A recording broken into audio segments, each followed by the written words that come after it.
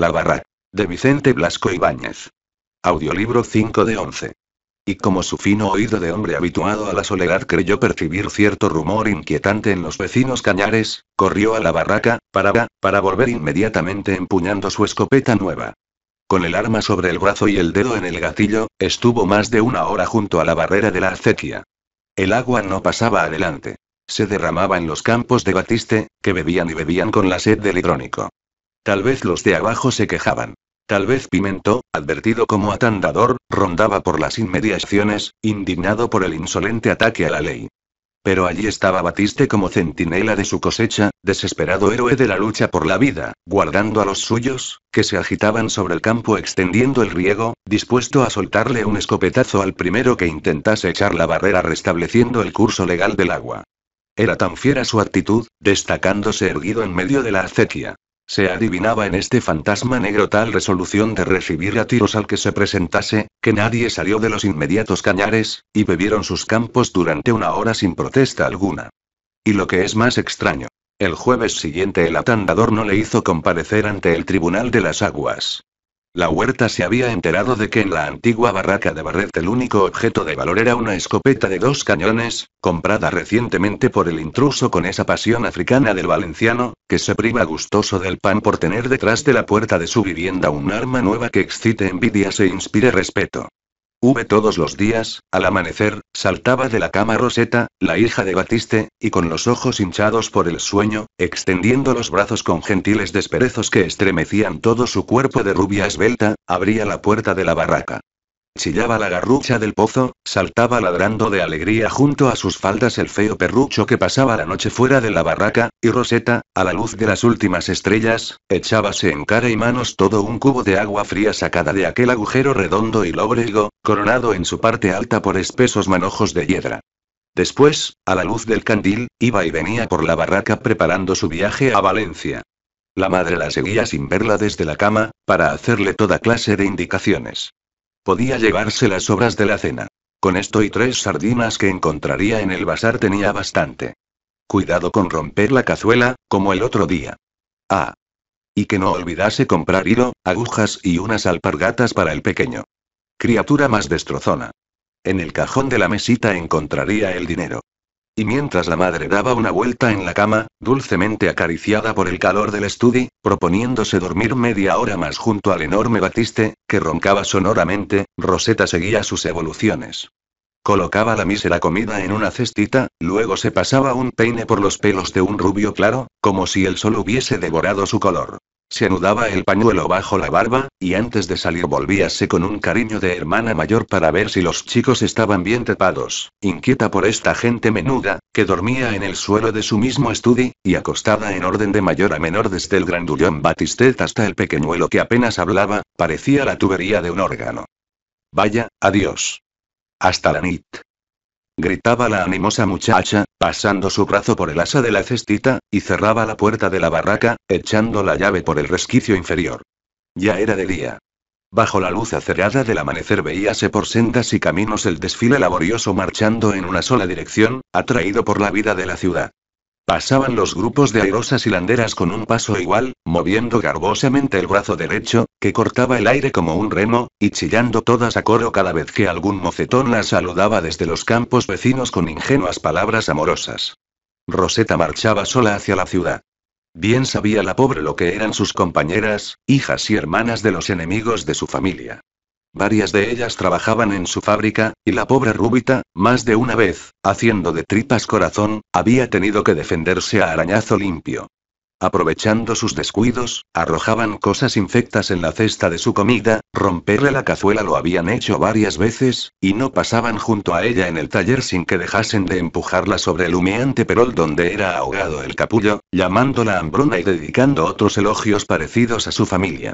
En el camino huía de todas ellas como de un tropel de furias, y únicamente sentíase tranquila al verse dentro de la fábrica, un caserón antiguo del mercado, cuya fachada, pintada al fresco en el siglo XVIII, todavía conservaba entre desconchaduras y grietas ciertos grupos de piernas de color rosa y caras de perfil bronceado, restos de medallones y pinturas mitológicas.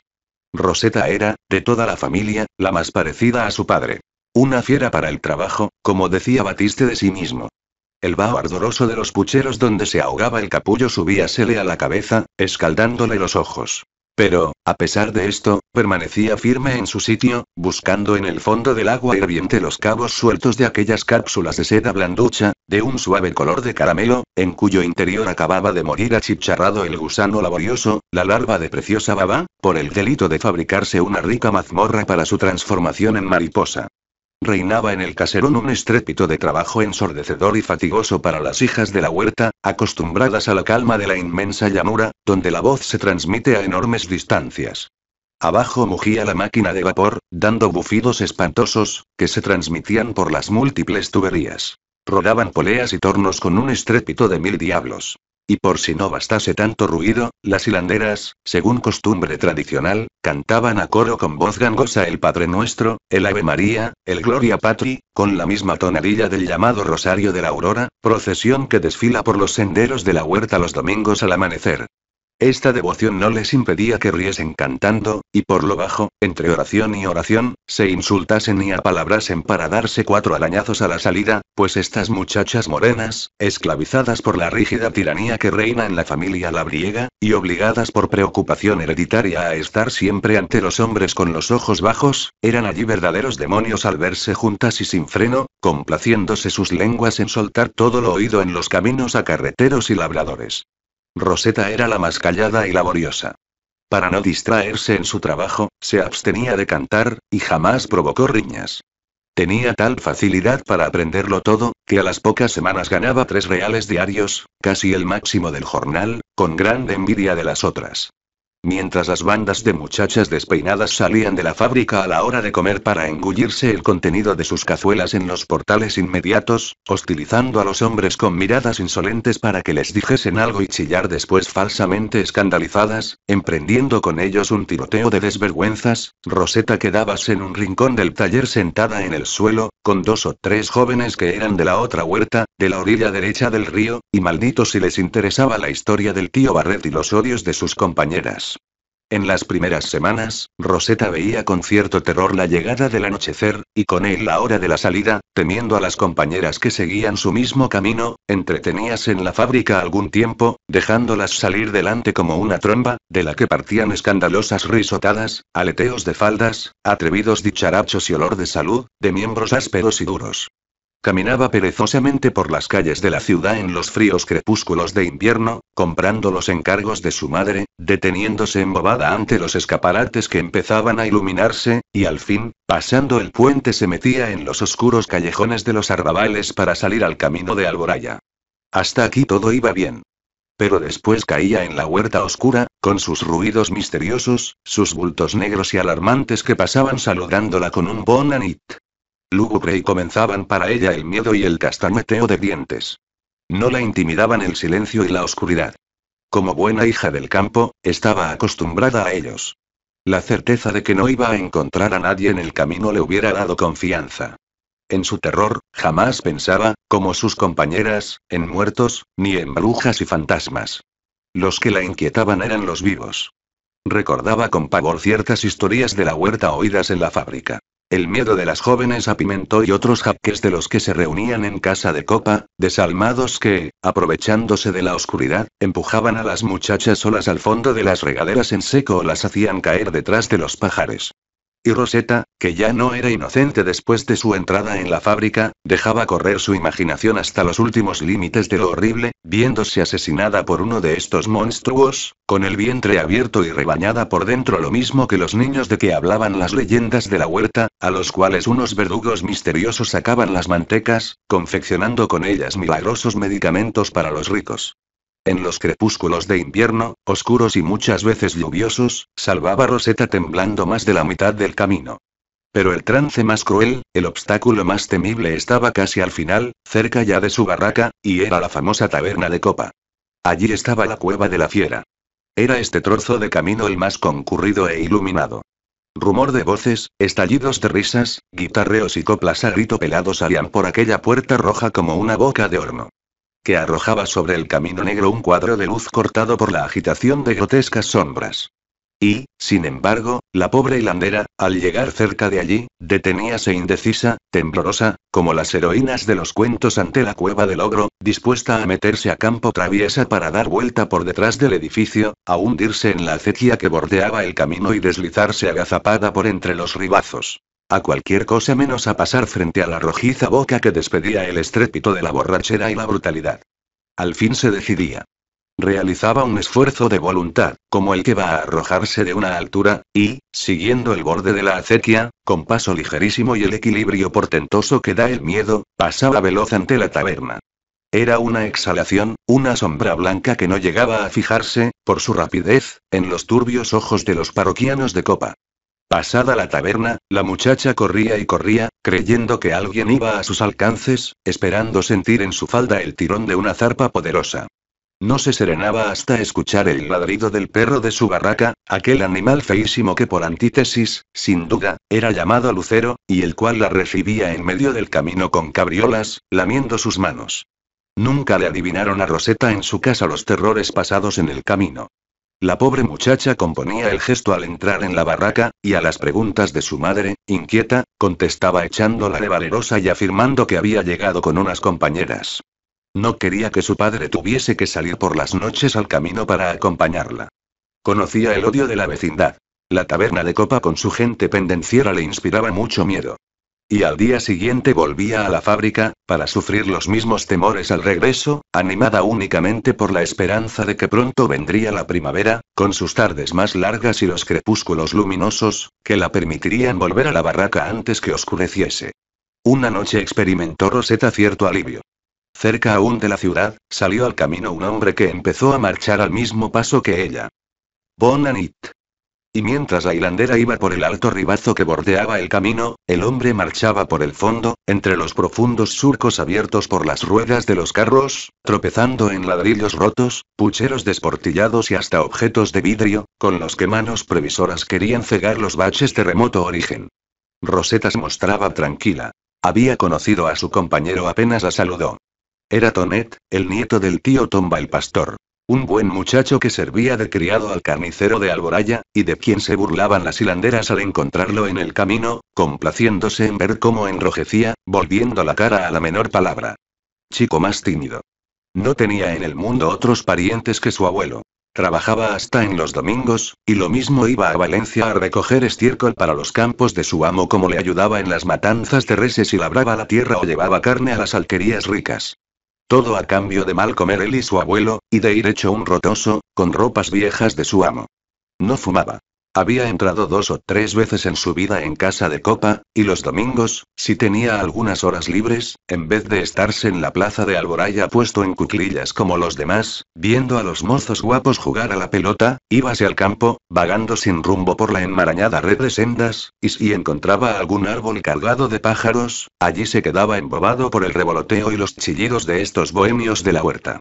La gente veía en él algo de la extravagancia misteriosa de su abuelo el pastor, y todos lo consideraban como un infeliz, tímido y dócil. La hilandera se animó con su compañía. Era más seguro para ella marchar al lado de un hombre, y más si este era Tonet, que inspiraba confianza. Le habló, preguntándole de dónde venía, y el joven solo supo contestar vagamente con su habitual timidez. Daí, daí, luego calló, como si estas palabras le costasen inmenso esfuerzo. Siguieron el camino en silencio, separándose cerca de la barraca. Bonanit, y gracias. Dijo la muchacha. Bonanit. Y desapareció Tonet marchando hacia el pueblo. Fue para ella un incidente sin importancia, un encuentro agradable, que le había quitado el miedo. Nada más. Y, sin embargo, Rosetta aquella noche cenó y se acostó pensando en el nieto del tío Tomba. Ahora recordaba las veces que le había encontrado por la mañana en el camino, y hasta le parecía que Tonet procuraba marchar siempre al mismo paso que ella, aunque algo separado para no llamar la atención de las mordaces hilanderas, en ciertas ocasiones, al volver bruscamente la cabeza, creía haberle sorprendido con los ojos fijos en ella, y la muchacha, como si estuviera hilando un capullo, agarraba estos cabos sueltos de su memoria y tiraba y tiraba, recordando todo lo de su existencia que tenía relación con Tonet. La primera vez que lo vio, y su compasiva simpatía por las burlas de las hilanderas, que él soportaba cabizbajo y tímido, como si estas arpías en banda le inspirasen miedo. Después, los frecuentes encuentros en el camino y las miradas fijas del muchacho que parecían querer decirle algo. Al ir a Valencia en la mañana siguiente no lo vio. Pero por la noche, al emprender el regreso a su barraca, no sentía miedo, a pesar de que el crepúsculo era oscuro y lluvioso. Presentía la aparición del tranquilizante compañero, y, efectivamente, le salió al encuentro casi en el mismo punto que el día anterior. Fue tan expresivo como siempre. Bonanit. Y siguió andando al lado de ella. Rosetta se mostró más locuaz. ¿De dónde venía? Qué casualidad, encontrarse dos días seguidos. Y él, tembloroso, como si las palabras le costasen gran esfuerzo, contestaba como siempre. Daí, Daí, la muchacha, que en realidad era tan tímida como él, sentía, sin embargo, deseos de reírse de su turbación. Ella habló de su miedo, de los sustos que durante el invierno pasaba en el camino. Y Tonet, halagado por el servicio que prestaba a la joven, despegó los labios, al fin, para decirle que la acompañaría con frecuencia. Él siempre tenía asuntos de su amo que le obligaban a marchar por la vega. Se despidieron con el laconismo del día anterior. Pero aquella noche la muchacha se revolvió en la cama, inquieta, nerviosa, soñando mil disparates, viéndose en un camino negro, muy negro, acompañada por un perro enorme que le lamía las manos y tenía la misma cara que Tonet. Después salía un lobo a morderla, con un hocico que recordaba vagamente al odiado pimento, y reñían los dos animales adentelladas y salía su padre con un garrote, y ella lloraba como si le soltasen en las espaldas los garrotazos que recibía su pobre perro. Y así seguía desbarrando su imaginación, pero viendo siempre en las atropelladas escenas de su ensueño al nieto del tío Tomba, con sus ojos azules y su cara de muchacho cubierta por un vello rubio, que era el primer asomo de la edad viril. Se levantó quebrantada, como si saliese de un delirio. Aquel día era domingo y no iba a la fábrica. Entraba el sol por el ventanillo de su estudio, y toda la gente de la barraca estaba ya fuera de la cama. Rosetta comenzó a arreglarse para ir con su madre a misa. El endiablado ensueño aún la tenía trastornada. Sentíase otra, con distintos pensamientos, cual si la noche anterior fuese una pared que dividía en dos partes su existencia. Cantaba alegre como un pájaro, mientras iba sacando la ropa del arca y la colocaba sobre su lecho, aún caliente y con las huellas de su cuerpo. Mucho le gustaban los domingos, con su libertad para levantarse más tarde, sus horas de holganza y su viajecito a Alboraya para oír la misa. Pero aquel domingo era mejor que los otros, brillaba más el sol, cantaban con más fuerza los pájaros, entraba por el ventanillo un aire que olía a gloria. ¿Cómo decirlo? En fin. Que la mañana tenía para ella algo nuevo y extraordinario. Se echaba en cara haber sido hasta entonces una mujer sin cuidados para sí misma. A los 16 años ya era hora de que pensase en arreglarse. Cuán estúpida había sido al reír de su madre siempre que la llamaba desgarbada. Y como si fuese una gala nueva que veía por primera vez, metióse por la cabeza con gran cuidado, cual si fuese de sutiles blondas, la saya de percal de todos los domingos.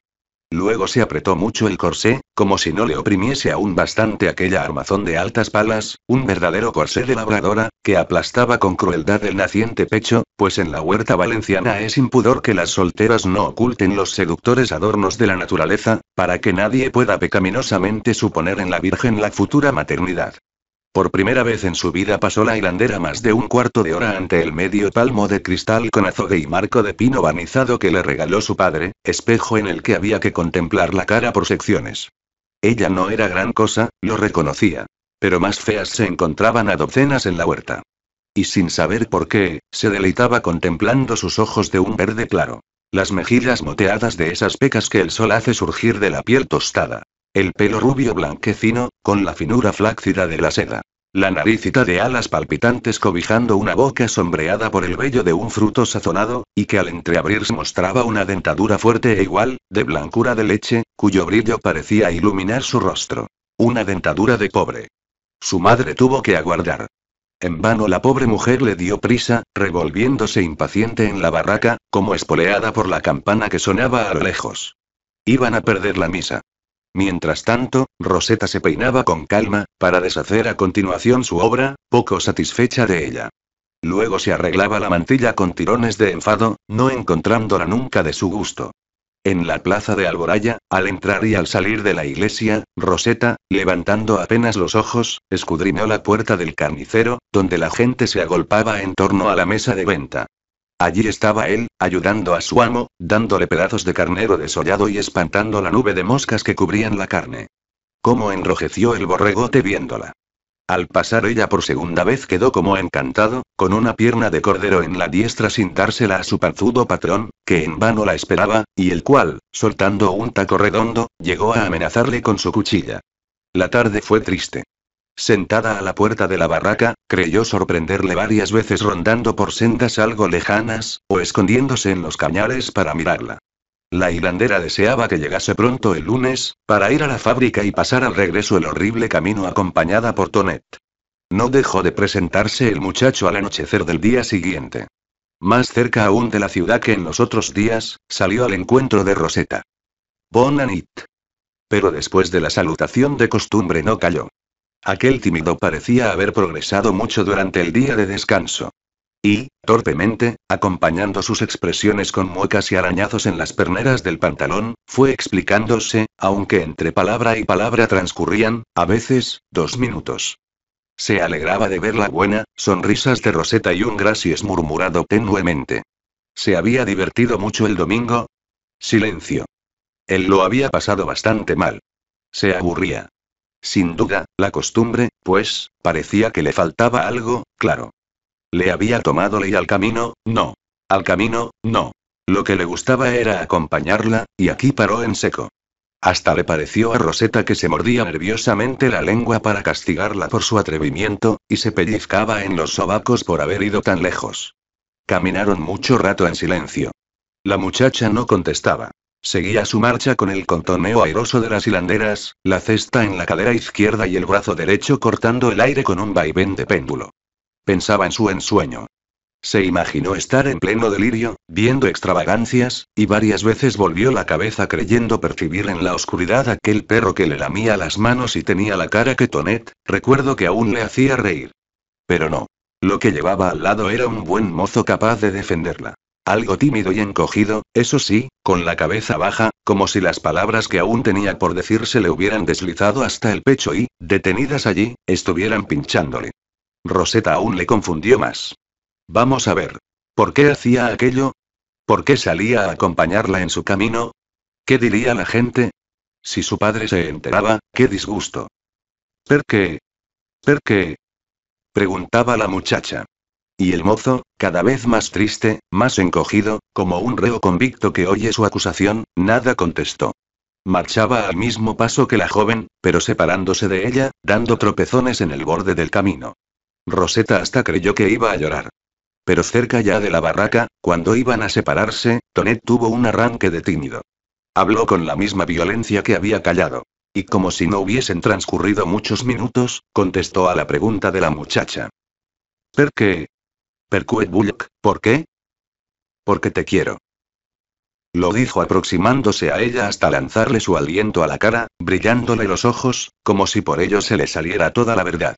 Y después de esto, arrepentido, otra vez miedoso, aterrado por sus palabras, echó a correr como un niño. Tonet la quería. Hacía dos días que la muchacha esperaba estas palabras, y, sin embargo, le causaron el efecto de una revelación inesperada. También ella le quería. Y toda la noche, hasta en sueños, estuvo oyendo, murmuradas por mil voces junto a sus oídos, la misma frase. Percuet Bullock. No esperó Tonet a la noche siguiente. Al amanecer le vio Rosetta en el camino, casi oculto tras el tronco de una morera, mirándola con zozobra, como un niño que teme la reprimenda y está arrepentido, dispuesto a huir al primer gesto de desagrado. Pero la hilandera sonrió, ruborizándose, y ya no hubo más. Todo estaba hablado. No volvieron a decirse que se querían, pero era cosa convenida el noviazgo, y Tonet no faltó ni una sola vez a acompañarla en su camino. El panzudo carnicero bramaba de coraje con el repentino cambio de su criado, antes tan diligente y ahora siempre inventando pretextos para pasar horas y más horas en la huerta, especialmente al anochecer. Pero con el egoísmo de su dicha, Tonet se preocupaba tanto de los tacos y amenazas de su amo como la hilandera de su temido padre, ante el cual sentía ordinariamente más miedo aún que respeto. Rosetta siempre tenía en su estudio algún nido que decía haber encontrado en el camino. Su novio no sabía presentarse con las manos vacías, y exploraba todos los cañares y árboles de la huerta para regalar a la hilandera ruedas de pajas y ramitas, en cuyo fondo unos cuantos polluelos, con la rosada piel cubierta de finísimo pelo y el trasero desnudo, piaban desesperadamente, abriendo un pico descomunal jamás ahito de migas. Rosetta guardaba el regalo en su cuarto como si fuese la misma persona de su novio, y lloraba cuando sus hermanos, la gente menuda que tenía por nido la barraca, en fuerza de admirar a los pajaritos, acababan por retorcerles el pescuezo. Otras veces aparecía Tonet con un bulto en el vientre. La faja llena de altramuces y cacahuetes, comprados en casa de copa y siguiendo el camino lentamente, comían y comían, mirándose el uno en los ojos del otro, sonriendo como unos tontos sin saber de qué, sentándose muchas veces en un ribazo sin darse cuenta de ello. Ella era la más juiciosa y le reprendía. Siempre gastando dinero. Eran dos reales o poco menos lo que en una semana había dejado en la taberna con tantos obsequios. Y él se mostraba generoso. Para quien quería los cuartos sino para ella, cuando se casaran, alguna vez habría de ser ya guardaría el dinero. La cosa sería de allí a 10 o 12 años. No había prisa. Todos los noviazgos de la huerta duraban una temporada así. Lo del casamiento hacía volver a Rosetta a la realidad. El día que su padre supiera todo aquello, Virgen Santísima. Iba a deslomarla a garrotazos. Y hablaba de la futura paliza serenamente, sonriendo como una muchacha fuerte acostumbrada a esa autoridad paternal, rígida, imponente y honradota, que se manifiesta a bofetadas y palos. Sus relaciones eran inocentes. Jamás asomó entre ellos el punzante deseo, la audacia de la carne. Marchaban por el camino casi desierto, en la penumbra del anochecer, y la misma soledad parecía alejar de su pensamiento todo propósito impuro. Una vez que Toneg rozó involuntariamente la cintura de Rosetta, ruborizóse como si fuese él la muchacha. Estaban los dos muy distantes de creer que en sus encuentros diarios podía llegarse a algo que no fuese hablar y mirarse. Era el primer amor, la expansión de la juventud apenas despierta, que se contenta con verse, con hablar y reír, sin sombra alguna de deseo. La hilandera, que en sus noches pavorosas tanto había deseado la llegada de la primavera, vio con inquietud desarrollarse los crepúsculos largos y luminosos. Ahora se reunía con su novio en pleno día, y nunca faltaban en el camino compañeras de la fábrica o mujeres del vecindario que, al verlos juntos, sonreían maliciosamente, adivinándolo todo. En la fábrica comenzaron las bromas por parte de sus enemigas, que le preguntaban irónicamente cuándo se casaba, y la llamaban de apodo la pastora, por tener amores con el nieto del tío Tomba. Temblaba de inquietud la pobre Roseta. ¿Qué paliza iba a ganarse? Cualquier día llegaba la noticia a su padre. Y fue por entonces cuando Batiste, el día de su sentencia en el Tribunal de las Aguas, la vio en el camino acompañada de Tonet. Pero no ocurrió nada. El dichoso incidente del riego salvó a la muchacha. Su padre, contento de haber librado su cosecha, limitóse a mirarla varias veces con el entrecejo fruncido. Luego le advirtió con voz lenta, un índice en alto y el acento imperativo, que, en adelante, cuidase de volver sola de la fábrica, pues, de lo contrario, sabría quién era él. Y sola volvió durante toda una semana. Tonet le tenía cierto respeto al señor Batiste, y se contentaba con emboscarse cerca del camino para ver pasar a la hilandera o seguirla desde lejos. Como los días eran más largos, había mucha gente en el camino. Pero este alejamiento no podía prolongarse para los novios impacientes, y un domingo, por la tarde, Rosetta, inactiva, cansada de pasear frente a la puerta de la barraca, y creyendo ver a Tonet en todos los que pasaban por las sendas lejanas, agarró un cántaro banizado de verde y dijo a su madre que iba a traer agua de la fuente de la reina. La madre la dejó ir. Debía distraerse. Pobre muchacha. No tenía amigas, y a la juventud hay que darle lo suyo. La fuente de la reina era el orgullo de toda aquella parte de la huerta, condenada al agua de los pozos y al líquido bermejo y fangoso que corría por las acequias. Estaba frente a una alquería abandonada, y era cosa antigua y de mucho mérito, al decir de los más sabios de la huerta. Obra de los moros, según Pimento. Monumento de la época en que los apóstoles iban bautizando pillos por el mundo, según declaraba con majestad de oráculo el tío Tomba.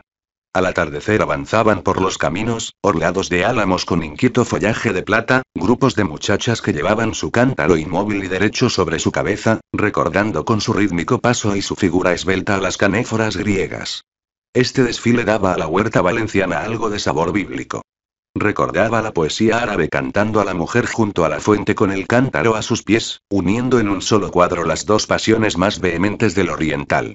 La belleza y el agua. La fuente de la reina era una balsa cuadrada, con muros de piedra roja, y teniendo su agua mucho más baja que el nivel del suelo. Audiolibro generado por Leer con los oídos.